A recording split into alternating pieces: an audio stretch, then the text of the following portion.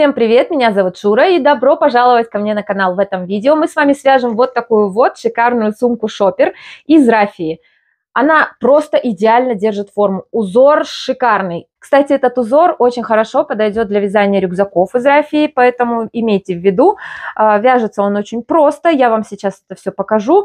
А для начала давайте обсудим материалы. Для вязания нам понадобится вот такое вот дно. Вся фурнитура у меня от сайта пряжа Центр РФ. Ссылочку я вам обязательно оставлю в закрепленном комментарии, потому что в описании она не очень открывается через раз, то есть у кого-то открывается, у кого-то не открывается, поэтому а, закрепленные комментарии, там будут все ссылки. Ручки у меня на кнопках 60 сантиметров и вот такой вот замочек, то есть а, сейчас я вам его покажу отдельно.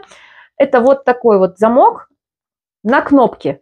У него две детали, он продается также на сайте Пряжа Центр, стоит совсем недорого, поэтому, в принципе, сумка достаточно бюджетная, если не считать рафию, которая нам понадобится аж три мотка. А, но это при условии, если вы будете вязать такой же плотный узор. Он, его можно вязать двумя способами, я обязательно вам расскажу про них. При желании можно уложиться в два мотка, но тогда ваша сумка не будет так хорошо держать форму. У меня идет рафия Испи, цвет земля, здесь идет в мотке 250 метров, и вот это вот остаток от третьего мотка. Крючок я использовала номер 3, также нам понадобятся маркеры, ножницы и хорошее настроение. Все размеры сумки я вам обязательно оставлю в описании. Рафию я заказывала на Wildberries, там, в принципе, ничего сложного, в поиске пишите Рафия Испи, и вам выходят все магазины, которые этим занимаются. На этом, в принципе, все. Если у вас остались какие-либо вопросы, обязательно пишите в комментариях, я всем отвечу, всем помогу. Давайте уже закругляться и пойдем вязать.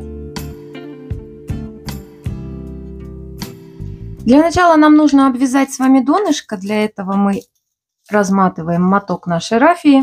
Вставляем крючок в любое из отверстий, захватываем нашу нить Вытягиваем петельку, придерживаем хвостик и провязываем первый столбик. Сразу прячем наш хвостик в вязание, придерживаем его вот таким вот образом. И теперь, смотрите, продолжаем вязать, делая в каждое отверстие по два столбика. Раз. И сюда же вставляем крючок и провязываем два. Вот сюда мы с вами провяжем последний столбик, который будет нашей прибавкой заканчивать ряд.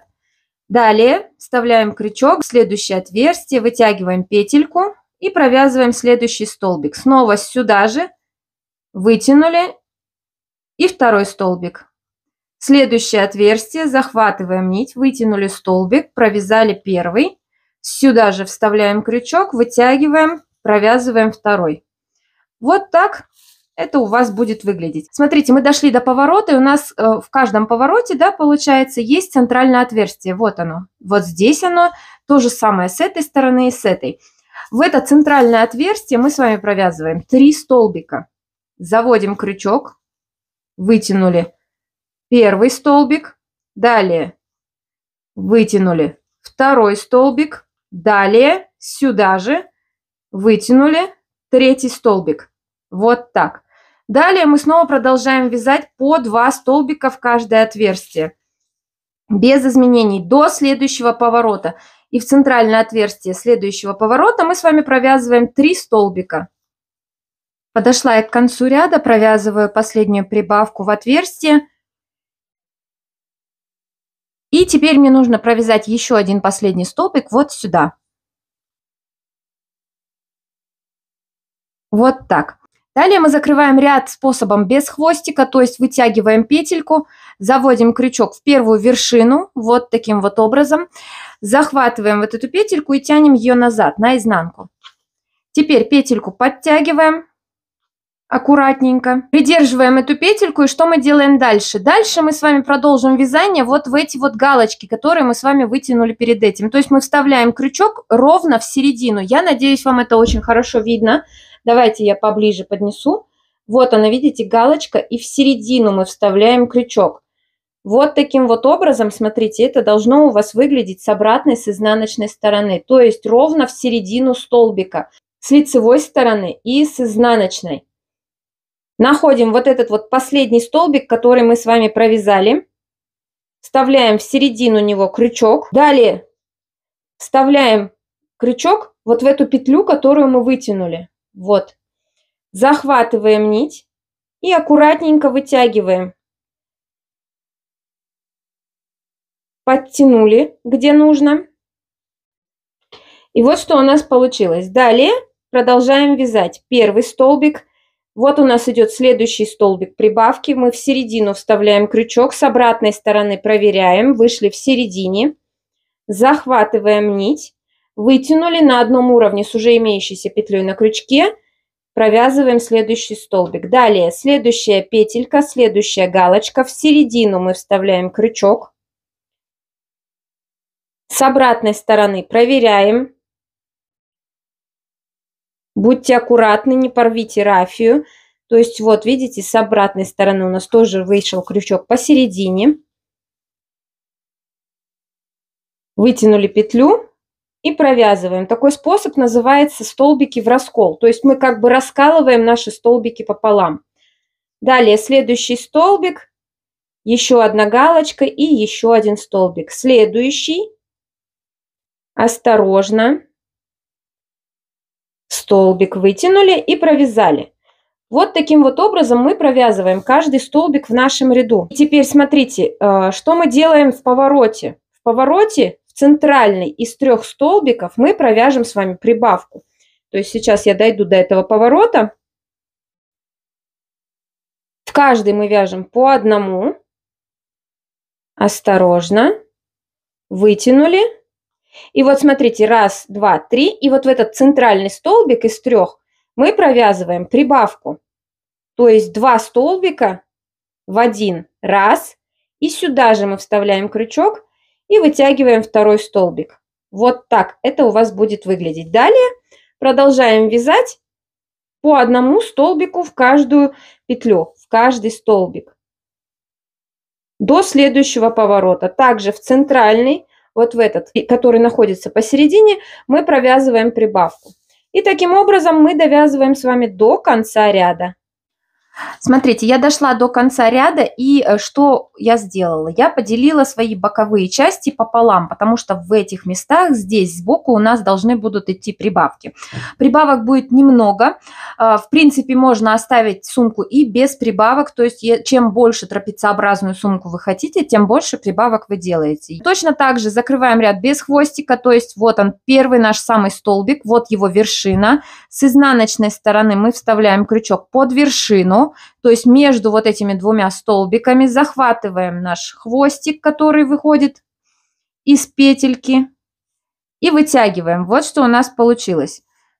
Далее мы с вами будем вязать таким образом. То есть, смотрите, убираем крючок и вставляем его вот сюда. То есть вот она идет первая галочка нашего предыдущего ряда, вот она последняя, вот эта вот часть нашей петельки, которую мы вытянули, мы вставляем крючок под вот эту вот петельку. А с обратной стороны точно так же заводим ее внутрь нашей вот этой петли. Вот так подтягиваем и вытягиваем первый столбик провязали. Получается, мы с вами провязали первый столбик нашего нового ряда над первым столбиком предыдущего ряда. И теперь смотрите, вот он идет следующий. Здесь, в принципе, легко.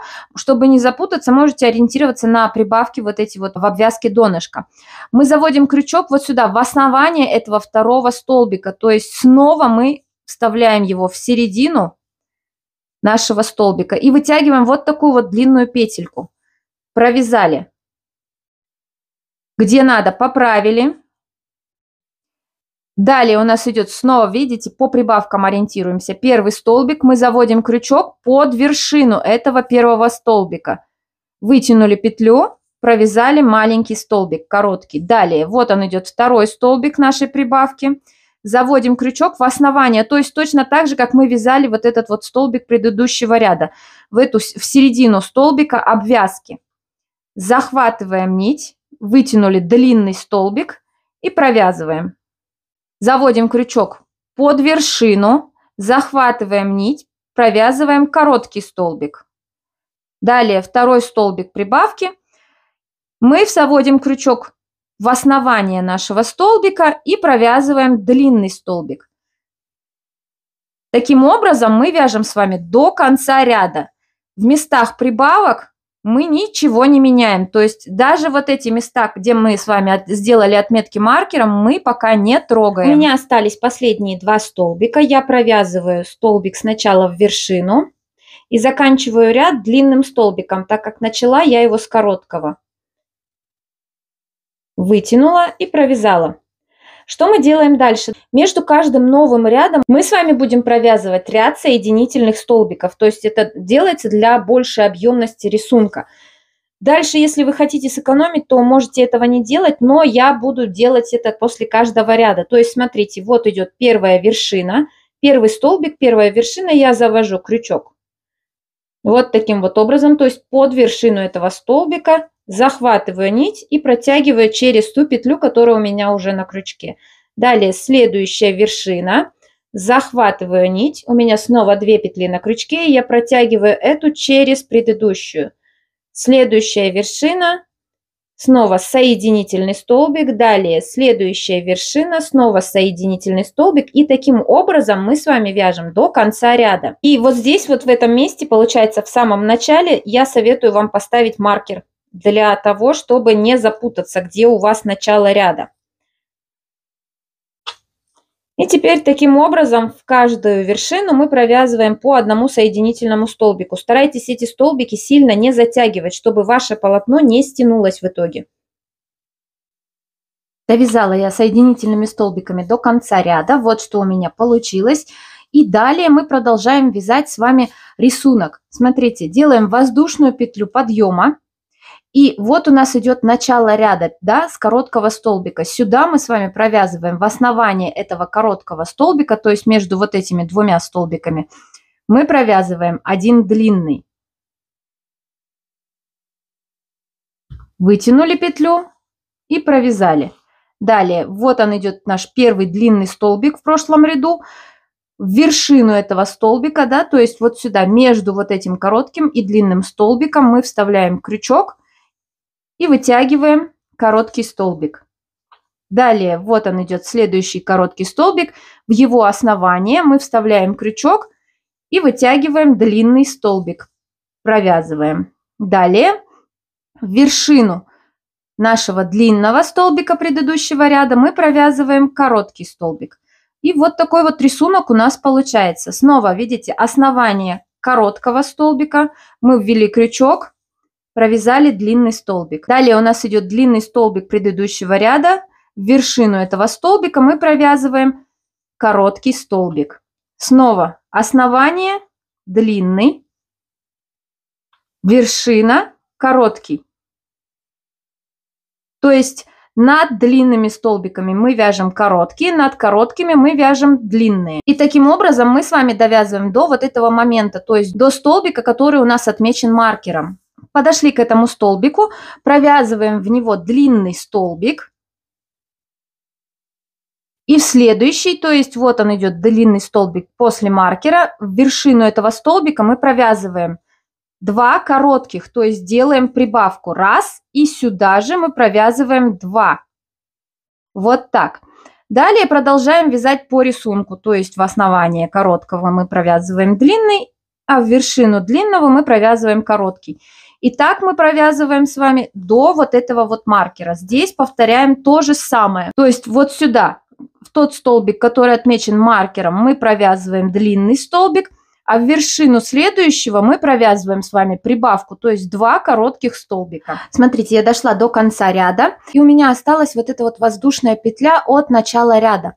Я завожу крючок вот сюда, также в вершину этого столбика, и провязываю последний столбик. Вот так. Теперь у меня все красиво и аккуратно скрыто. Дальше у меня идет ряд соединительных столбиков. Смотрите, здесь еще такой момент есть.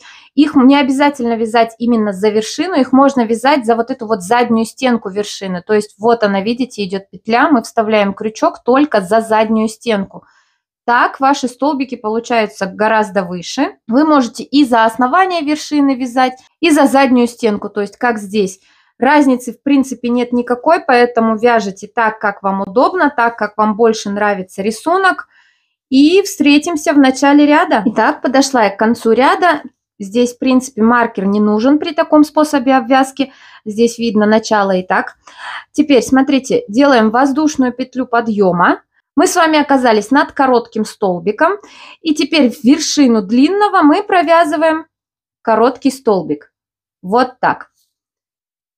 Дальше все просто повторяем те же движения, то есть э, в вершину длинного мы вяжем короткий столбик, а в основание короткого столбика мы вяжем длинный. Обязательно все длинные столбики выправляйте, чтобы они смотрелись красиво, потому что короткие столбики, их не видно, они будут прятаться внутри под длинными. И тут, в принципе, не важно, как они будут выглядеть, поэтому старайтесь э, хорошо заморачиваться именно над длинными столбиками, чтобы они были у вас как можно ровнее. Так, смотрите, я подошла к нашей прибавке. И теперь что мы делаем? Вот сюда, в основание да, этой прибавки мы провязываем длинный столбик, так как перед прибавкой у нас идет короткий. Далее отодвигаем и между вот этими двумя столбиками прибавки мы провязываем с вами короткий столбик. Вот так. И теперь длинный мы провязываем снова сюда же, откуда вывязали предыдущий длинный, то есть в основание этой же прибавки. Вот так. Вот таким вот образом у нас с вами получается прибавка. Далее продолжаем вязать точно так же. Здесь ничего не меняется. Ну что, я довязала до конца, э, начала уже вязать четвертый ряд рисунка, дошла до, нашей, до места нашей первой прибавки. И здесь, смотрите, э, ничего сложного, мы вяжем точно так же по рисунку. То есть над первым длинным столбиком прибавки мы вяжем короткий. Вот сюда между вот этими двумя длинными столбиками в основании короткого столбика мы вяжем длинный. И вот сюда, в вершину вот этого длинного столбика мы провязываем короткий. То есть дальше у нас продолжается просто рисунок. И вот так это будет выглядеть. Таким образом мы довязываем до этой прибавки, провязываем здесь точно так же, заканчиваем ряд и провязываем без изменений, без прибавок вверх 4-5 рядов, как вам больше нравится. То есть это все зависит только от вашей фантазии, вы хоть через ряд можете добавлять прибавки, то есть э, смотрите так скажем, на глаз, как вам будет больше удобнее, как вам больше понравится, так и э, вяжите. Вот такой вот рисунок у нас с вами получается. И увидимся через 4-5 Так, смотрите, я довязала 5 рядов. Получается, можем вместе с вами посчитать. Первый, второй, третий, четвертый, пятый. И вот он шестой ряд. Я провязала, сделала прибавки. Здесь, в принципе, тоже высчитывать не обязательно, в какой именно столбик вы сделаете прибавку. Главное, чтобы это было приблизительно посередине потому что а, вязание у всех съезжает в разные стороны. Кто-то левша, кто-то правша, кто-то тянет в одну сторону больше, кто-то в другую. В общем, Поэтому мы оставляем здесь маркер и приблизительно посередине мы делаем вот эти вот прибавки. Итак, в шестом ряду я сделала прибавку, далее провязала ряд соединительными столбиками. То же самое я сделала с этой стороны и уже довязала до момента прибавки. Давайте я вам еще раз покажу, как мы вывязываем вот эти вот два длинных столбика. Итак, вот идет наша прибавка. Мы в ее основание вставляем крючок, вытягиваем один длинный столбик, провязали Далее, вот здесь между вот этими двумя галочками мы вставляем крючок под вершину, вывязываем короткий столбик. И теперь сюда же, в это же основание, откуда мы вывязали вот этот столбик, то есть в эту же петлю, мы вставляем крючок и вытягиваем второй длинный столбик. Вот так у вас это должно будет выглядеть. Точно так же мы делаем все последующие прибавки. Самое главное это не пропускать вот эти вот короткие столбики и делать вот эти длинные столбики самыми ровными, потому что короткие, они у нас все равно спрячутся под длинными. Поэтому если он у вас получится тоньше или наоборот толще, ничего страшного нет, он у вас спрячется под длинным столбиком. Таким образом, мы с вами провязываем на нужную нам высоту сумки. Я довязала на нужную мне высоту, у меня получилось 38 рядов вверх. И теперь мне нужно выделить места, куда я буду делать ручки. То есть мне нужно сделать отверстия для ручек. Я уже их отметила и э, сейчас покажу, как я это сделала. То есть, смотрите, э, во-первых, складываем нашу сумку пополам. Вот таким вот образом находим середину. И теперь смотрите, чтобы все это было очень-очень ровно, мы делаем вот так. То есть мы сложили нашу сумку пополам, выпрямили, выровняли. И вот на уровне донышка мы будем с вами пришивать, привязывать наши ручки. То есть, смотрите, вот идет начало донышка. Мы вот так прикладываем. И вот я отметила уже, получается, начало вязания своей ручки. Конец можно отмечать, можно не отмечать. Я отметила только начало. Дальше, с этой стороны то же самое, то есть мы находим конец донышка, вот, видите, выкладываем свою ручку и отмечаем начало. Смотрите, если мы поднимем нашу сумку, вот здесь вот видно, наши маркеры немножко съезжают. Если мы отметим и начало, и конец ввязывания да, нашей ручки, то у нас маркеры сойдутся. Так как мы отмечаем только начало, наши маркеры немножко расходятся в разные места. То есть примерно получается на ширину нашей ручки. Вот так, видите? Наши маркеры с этой и с этой стороны остаются. То есть они расходятся ровно на ширину нашей ручки. Здесь я уже довязала, начала ряд, довязала до первого маркера. И смотрите, что мы делаем. Вот у меня идет отмечено маркером, то есть я провязываю последний столбик, он у меня идет длинный. Вот так. Далее делаю 3 воздушные петли. Раз, два, три. Пропускаю, смотрите, маркер здесь уже можно убрать. Пропускаю, смотрите, два столбика. То есть у меня здесь по рисунку должен идти короткий столбик, далее длинный и снова короткий. И я вяжу сразу короткий столбик. Вот так. У меня получается вот такое вот отверстие, вот такой вот промежуток. Дальше я продолжаю вязать по рисунку. Длинный столбик, короткий и так далее. И вот смотрите, давайте примерим нашу ручку. Она у нас на кнопках. Мы вставляем ее в это отверстие, она должна заходить туго, чтобы у нас не было никаких дырок слишком больших. То есть, если мы потянем сумку, у нас вот здесь вот получится вот такой вот промежуток. Если мы пропустим больше столбиков, то у нас отверстие будет еще больше. Или если мы наберем воздушных петель больше, у нас вот здесь вот, вот эта дырка получится очень большая. Поэтому чем меньше, тем лучше. И продолжаем вязать до следующего маркера. Вот я подошла к следующему своему маркеру. И у меня вот здесь вот он маркер отмечен. Здесь идет должен идти короткий столбик. По рисунку.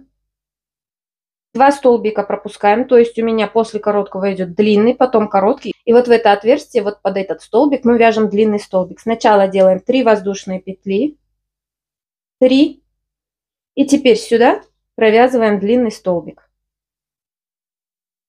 Вот так. Вот такое отверстие у нас получается. Дальше мы вяжем по рисунку. Смотрите, по поводу соединительных столбиков. Здесь по воздушным петлям мы точно так же их делаем. То есть вот я дошла до момента, где у меня идут, начинаются воздушные петли подъема. То есть я провязываю последний соединительный столбик столбик перед тем, как у нас начнется отверстие. Дальше точно так же за заднюю стеночку, вот смотрите, я завожу крючок и соединительный столбик. Далее опять задняя стеночка и соединительный столбик. Точно так же с этой стороны и соединительный столбик. Три соединительных столбика. Дальше по следующей вершине и продолжаем вязать соединительные столбики. Таким образом у нас получается здесь тоже очень плотненько, чтобы ручки сильно не вытянули наше вязание. Итак, как мы обвязываем вот это вот отверстие, когда уже перешли на следующий ряд рисунка. То есть вот я довязала до конца, вот у меня последний короткий столбик перед отверстием. Дальше мы заводим крючок полностью в отверстие, захватываем нить, вытягиваем петлю и провязываем точно такой же короткий столбик. И таких столбика мы провязываем 3, так как у нас было здесь 3 воздушные петли. 3. Вот так это будет выглядеть. Дальше у меня по рисунку идет длинный столбик. Вот так.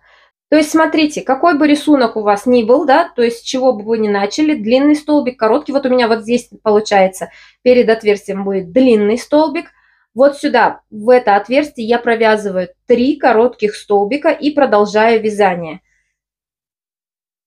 Точно так же со всеми другими отверстиями. Не забывайте, не запутайтесь. Три коротких столбика и дальше по рисунку. Естественно, когда вы перейдете на вязание следующего ряда рисунка, Здесь у вас будет сразу три длинных столбика, которые вы точно так же провяжете под это отверстие. Таким образом вы укрепите место вот это вот, где будет держаться наша ручка, и наше полотно не будет сильно растягиваться. Итак, я провязала еще три ряда рисунка после того, как мы сделали с вами соединительные столбики.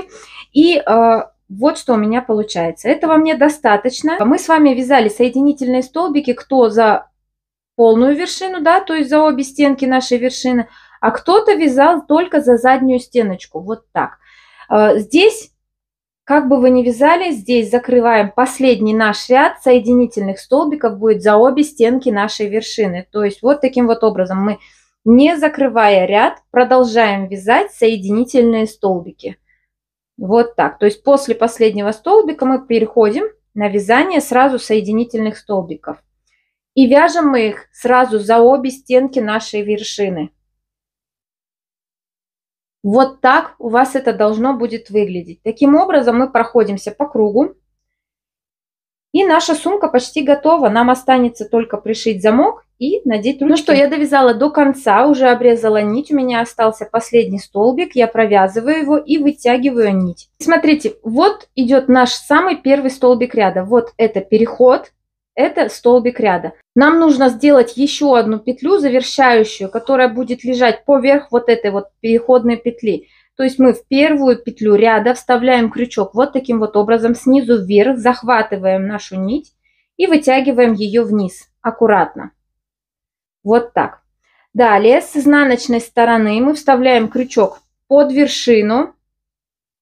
И таким образом, чтобы у нас крючок вышел в середине нашего вот этого вот последнего столбика соединительного, откуда мы вытянули вот эту вот петельку. Вот. Захватываем нить и вытягиваем на изнаночную сторону. Подтянули, и вот что у нас получилось. Вот такой вот красивый, аккуратный переход. Дальше, вот здесь, с изнаночной стороны, мы прячем хвостики аккуратно за задние стеночки Здесь, в принципе, ничего сложного нету. Заводим крючок за заднюю стеночку нашего столбика, захватываем нить и тянем. И так проделываем до тех пор, пока она у нас полностью не спрячется. Ну а теперь нам осталось надеть ручки, пришить наш замок на кнопке и сделать вот такие вот украшения кисточки. Но прежде чем пришивать замок, чтобы все это получилось аккуратно, в нужных местах нам нужно отпарить сумку. Потому что сейчас она вон заворачивается, всем нам нужно ее максимально хорошенько отпарить, выровнять все вот эти вот места загибы и закрученные места. И только потом мы с вами будем пришивать замок, чтобы все у нас получилось ровно, и он у нас никуда не уехал и не съехал. Ну что, я отпарила свою сумку, вот такая вот она у меня сейчас ровненькая, аккуратненькая. И теперь можно приделывать замок. Смотрите, э, пришивать замок мы будем вот так. То есть вот в этих местах у нас будут ручки, и ровно посередине мы должны с вами пришить замок. Поэтому будем отсчитывать с вами равное количество столбиков, и вот в этом месте мы с вами пришьем замок. Вот так. Здесь я уже продела рафию через иглу. И самыми простыми и обычными стежками мы будем пришивать наш замок. Не забудьте оставить небольшой хвостик, чтобы потом можно было закрепить нить.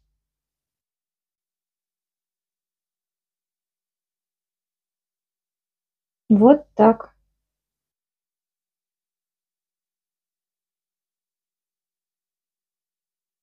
Какими будут стежки, тут совершенно не важно. Вы можете вставлять иглу крест-накрест, можете э, простые стежки сделать. Я буду вставлять крест-накрест.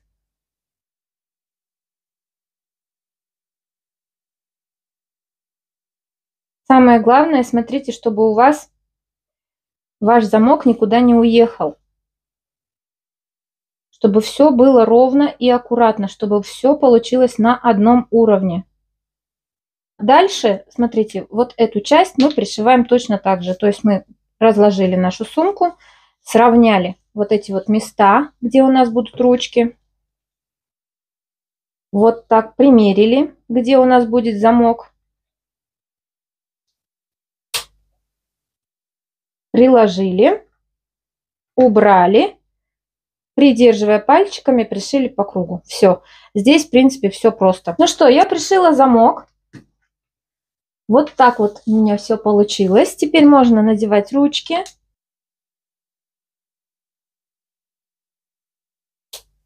Первое. Смотрим, чтобы они не перекрутились. Осторожно. Если туго заходит, это прям очень даже хорошо. Так, вторая.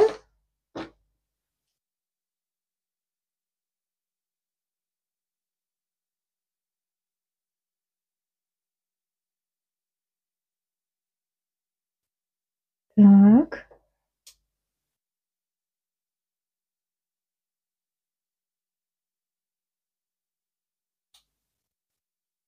Ну и вот такая сумка у нас с вами получилась. А, здесь я вот подготовила небольшой брелочек. Надела его на кольцо карабин и зацеплю вот тут.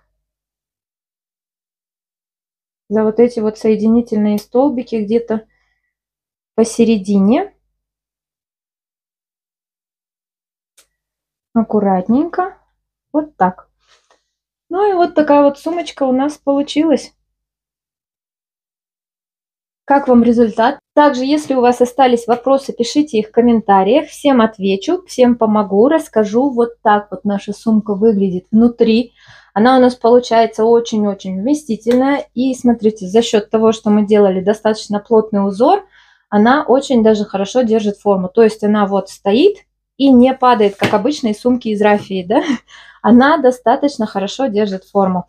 А, здесь по брелкам можно оставить без брелка, можно сделать брелок, можно сделать не на кольцо карабин, на что угодно. То есть это все зависит только от вашей фантазии.